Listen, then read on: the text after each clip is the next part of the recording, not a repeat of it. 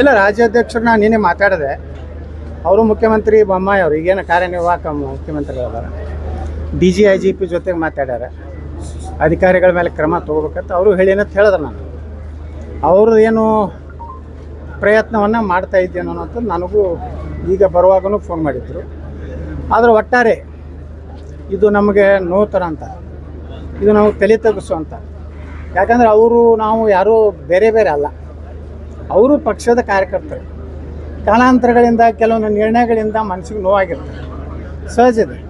ಚುನಾವಣೆಯಲ್ಲಿ ಟಿಕೆಟದಲ್ಲಿ ಅಂತ ಆದ ಅಸಮಾಧಾನ ಇರ್ಬೋದು.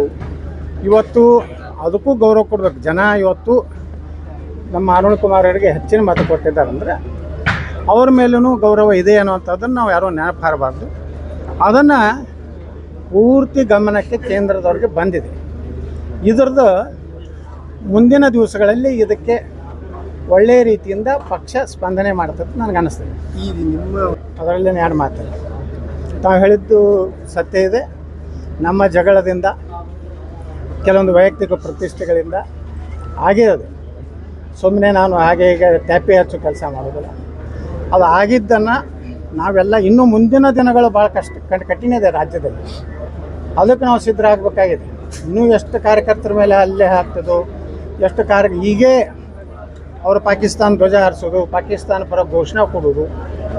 ಭಗವಾ ಜಂಡಾದ ಮೊನ್ನೆ ಸಿರ್ಸಿ ಮಾರ್ಕಾಂಬ ದೇವಸ್ಥಾನದ ಹತ್ತಿರ ಮಾಡೋದಂತ. ಇವೆಲ್ಲನೂ ಹೀಗೆ ಏನು ಅಧಿಕಾರ ಪ್ರಮಾಣ ವಚನ ತೊಗೊಂಡೆಲ್ಲ ಇದು ನಡೆದಿದೆ.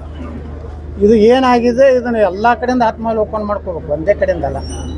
ಎಲ್ಲರ ಆತ್ಮಾವಲೋಕನ ಮಾಡ್ಕೋಬೇಕು. ಏನು ತಪ್ಪಿದ್ದೀವಿ ಅದನ್ನು ಒಂದು ಹೆಜ್ಜೆ ಹಿಂದೆ ಸರಿಬೇಕು. ತಪ್ಪಾಗಿದ್ದರೆ ಕ್ಷಮೆ ಬಿಡಬೇಕು.